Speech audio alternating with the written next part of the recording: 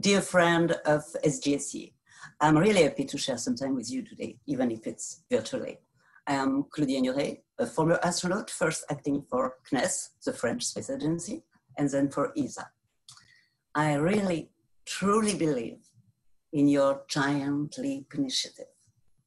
I had the privilege to fly twice in space, 16 days in 96 on board the Mir station, and 10 days in 2001 on board ISS at a very early stage of assembly. I am a medical doctor, a specialist in rheumatology and sport traumatology. And after my selection in 85 as a research astronaut, I got a PhD in neuroscience.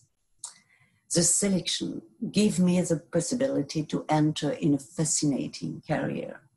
15 years as an active astronaut, mainly in training in Star City near Moscow, in a freshly open framework for international cooperation.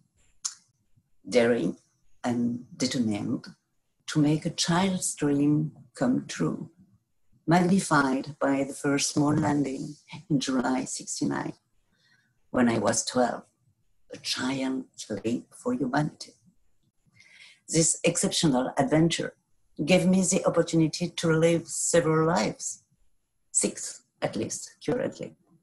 First, a medical doctor, practitioner in an hospital, a scientist working in the field of neurophysiology in an international utilizing microgravity as a unique field of experimentation.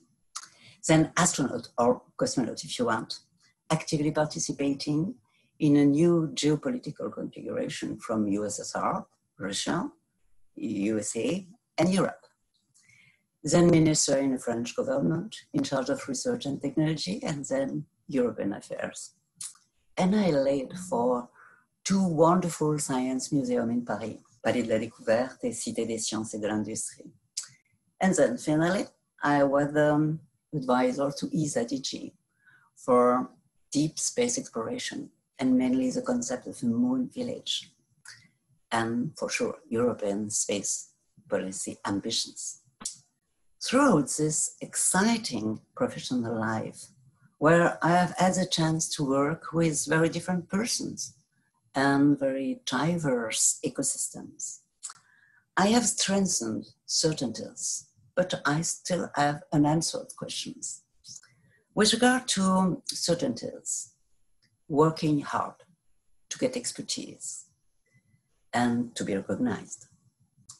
Mastering with responsibility a culture of risk, daring to undertake and daring to be different, being determined and persevering in spite of failures, favoring teamwork, building trust and respect for others. Be attentive to transmit, to share, but remain open to learn from others. Life is not just working time, so take time and take care. And with regards to challenging observation, the low presence of women in space, engineering, and digital professions. When I graduated from medical school, it was in the 80s, I was convinced that the struggles of our mothers, of our grandmothers, has given the possibility to advance the place of women on workplace. And that it has broken down most of the barriers.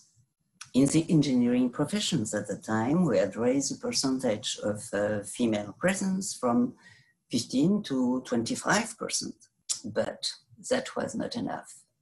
We quickly reached a plateau. And in some cases, even today, we are down 14% in digital technology, 21% on average in engineering outside the care field, less than 10% in tech entrepreneurship. STEM science, technology, engineering, and mathematics, STEM suffers from a lack of diversity. And this compromises our future. the scientific approach is not just rationality and proof, it's critical spirit, it's empowerment, and it's freedom. Scientific literacy is an absolute requirement for everyone in a complex and uncertain world. That was my second worry the lack of confidence in science, a society where mistrust is a pillar, a society turning inwards with self centered individuals. But coming back to space and women in space, as I'm personally involved. In Europe, 10% of female candidates in 85 astronaut selection in France and 16% in ESA selection in 2008. And you know well Samantha Cristoforetti was the active astronaut now in Europe. As you know probably, we will have a new European astronaut selection next year in ESA. And I really hope that we will raise this level towards better balance, being attentive of the diversity of talents that we need to build the future and explore new horizons. Furthermore, you know that the wave of retirement is quickly coming in ESA and in space field in general, more than 40% in the 10 years to come. That's a lot. The European space sector needs new talents, new profiles to take care of the future in an active, inspiring, and responsible environment agency, research, engineering field. Obviously, some of these new talents will join the European Astronaut Corps. They will perform mission on ISS and they will explore deep space, lunar gateway. They will maybe put the first European foot on the moon surface. And why not the first Martians, astronauts, European will be there. But we also need to explore these new windows to push the boundaries. We need engineers, researchers, lawyers, architects, economists, sociologists, politicians, and so on.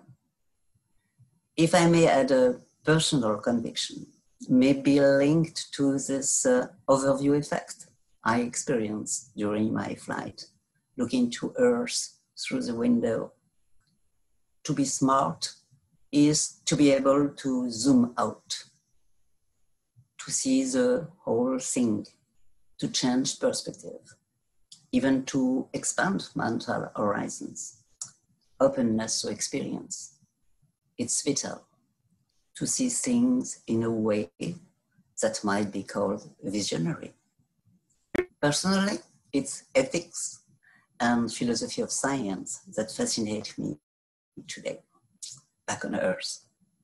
We need your talent, your knowledge, your creativity and involvement to carry on the path, to take care of human beings as peaceful humanity and to preserve our Mother Earth planet. So beautiful, but vulnerable. Join us. You are going to have a magnificent adventure. And together we will be better equipped to progress. We are waiting for you. I'll conclude with my favorite quote from Oscar Wilde Shoot for the moon, even if you miss, you'll land amongst the stars. Have a good meeting.